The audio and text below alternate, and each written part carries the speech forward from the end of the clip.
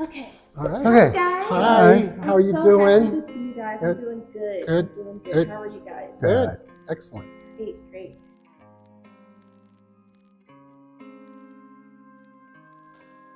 Fred and I have shown, I think this is the fourth show that we have shown together.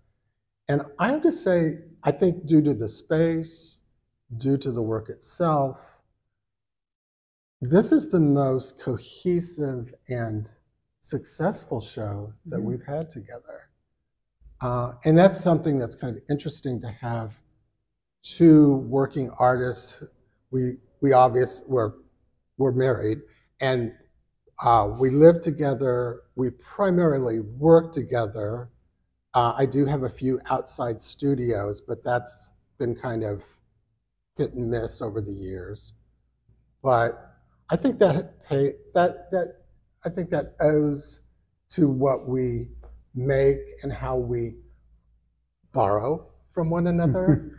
and I think that there is a, a language that we've definitely uh, developed over the years. And uh, again, uh, I do think this is the most successful show that we've had together. It's always the coalition is really kind of special because my first solo show in Kansas City was with the coalition, so it's always kind of nice to to have this history with them, and it, it's worked out really well in this space. It's, it's kind of amazing. Every time I look around, I see I just saw something new right there that I have to get a picture of. So. Uh, you know, it started out, like I said, it started out during the pandemic. So it was very much about home and, and isolation. But it quickly became about getting back out into the world. Uh, if you look at them, that's, that's really what they're about. They're, they're breaking out and, and having life again. Um, they're kind of, for the most part, I think they're kind of resolved at this point. I've kind of moved on to some other things. I mean, occasionally I'm still doing a few of these, but I did had some technological changes because these were done on a little tablet. I've had to go to a new one now, which has brought up a new way of doing the same thing. So yeah, they're they're definitely have moved on.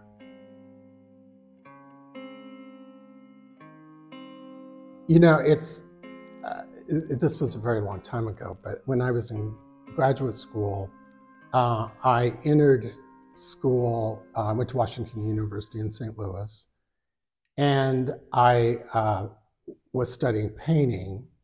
And it was my first semester. Uh, I got called into the uh, uh, graduate school head, and he said, "We would like to make a deal with you if you." I, because I was doing some ceramics too.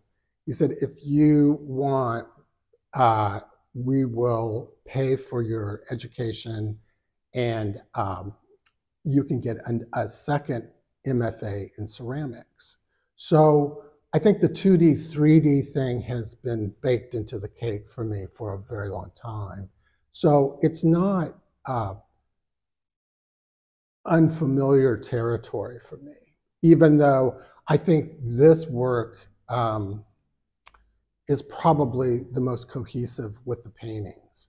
And that's, I think that's something that a lot of 2D, 3D artists struggle with is how am I going to make this work talk to one another or at least have a similar language. And um, yeah, I think this is, I think this is very successful. Um, this is a successful storytelling.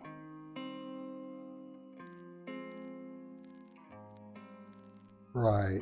Um, you know, they're small spaces. Great for me. It was. It was. I, I was very fortunate because I was at a time when I was working. Uh, I had an overspill area in the in our house, and it was going into the yard. And you know, that's that's a that's a nine month studio. You can't really work in the dead of winter out there because paint does not dry. It has to be a certain temperature.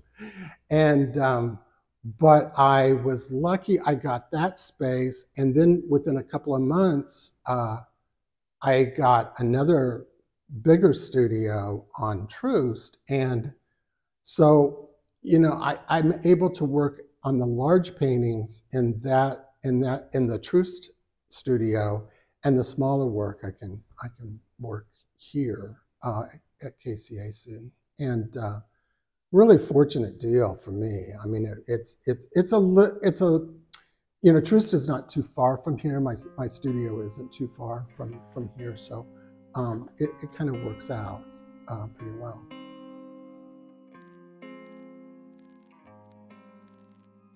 I, it's um, it's a practice I can do. Uh, so I'm trying to figure out the difference between these two things, because uh, photography is more about going out in the world to some degree, although I do a lot of pictures at home too. Uh, the drawing is more intimate. Uh, it's me and my tablet, and it's more or less taking things from the outside and putting them in there and seeing what happens with them. Uh, photography is still still with me. Uh, I just I just submitted some photo based work for a thing, so you know it's it's still there, but they're different practices, but they're somehow complementary, and they're they're just I love them both, and it's just this this kind of flow between the two of them although the, the drawing has been more prevalent lately. But yeah, they're always my two loves, so you know. That was great. It's always interesting with these because, like I said, they're done on a tablet, so they look different because they're backlit, so they're brighter. And then putting them on paper, uh, you don't know how that's coming to come out. And it turns out they came out really fabulously.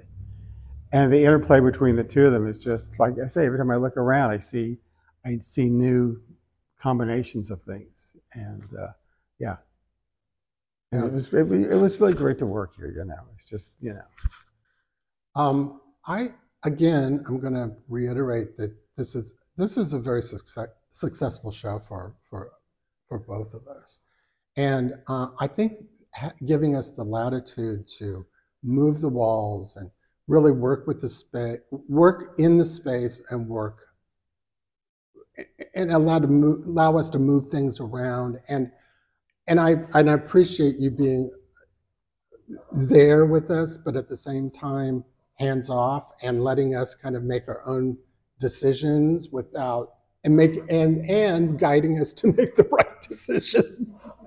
so um, so anyway, I, I, I think that is something about. Uh, an art an artist centric space. Uh, I guess we can say nonprofit space, but I don't know if all nonprofit spaces work like Kansas City Artists Coalition.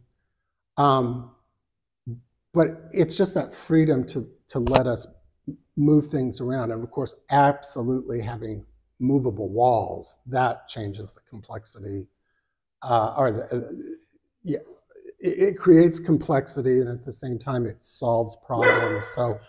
So anyway, sorry about that. it's okay.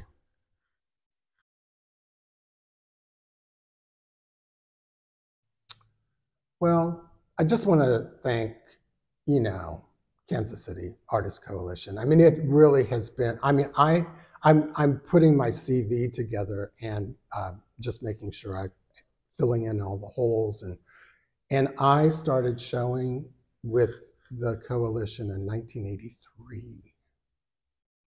And that's just that's just amazing to me that we've had that kind of an ex- I've had that kind of an experience with the coalition all those years and um, you know it's a it's it's it is it, even though this is the third it's the third location for me um, but it always feels like home to me and that that's something that I think we're very fortunate to have in yeah. Kansas City. I don't want to get too soppy about it, but it means a lot. It means a lot yes, to, yes. to us anyway.